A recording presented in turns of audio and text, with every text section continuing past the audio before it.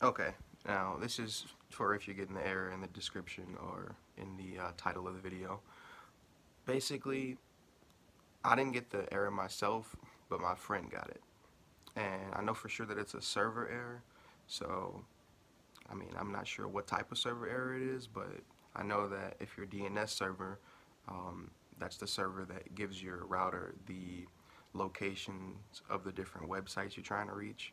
Um, every website has an IP address. A DNS server basically has those IP addresses stored. So when you connect to the internet, you ask your router a question. You say, hey, how do I get to facebook.com? And then your router asks the DNS server, hey, do you know how to get to facebook.com? And then the DNS server says, here's the IP address for it.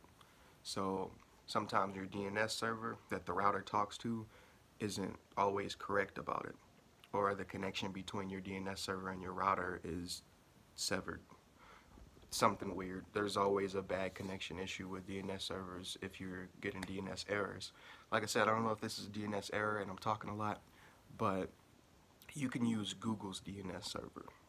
And you can look up ways to use Google's DNS server, but basically what you want to do is you want to connect to your Wi-Fi on your PS4 and you want to click custom after you select your Wi-Fi. Instead of hitting easy, you want to hit custom and then you'll see a bunch of different things showing up and you want to click on um, you just basically want to skip past those until you see DNS so um, let me see if I can show you really quick. So you want to click set up internet connection. You want to click use Wi-Fi.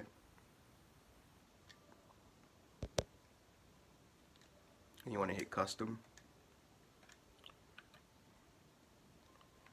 Then after you hit custom, I'm not showing you because you see, I can't turn the camera around.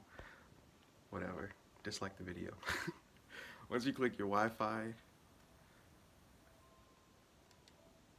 you enter your password if you haven't already.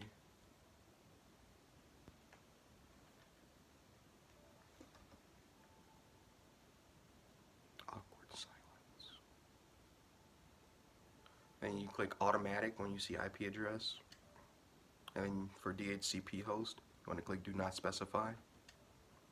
For DNS settings that's when you want to click manual. And when you click manual you'll see primary DNS you know what? I'm just do this. You see primary DNS there. And oh it's backwards. Anyways you click primary DNS and you put 8.8.8.8 so this here will be 8.8.8.8. And then for secondary DNS, you want to put 8.8.4.4. I'll put those in the description. So once you do that, you go ahead and hit next. You should be good run the test. It may not work, but give it like five minutes and then you may be able to play online. That's what happened with my friend.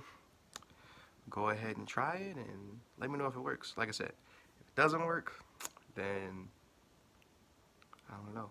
Sorry. But if it does work, I didn't waste your time. Like the video and subscribe.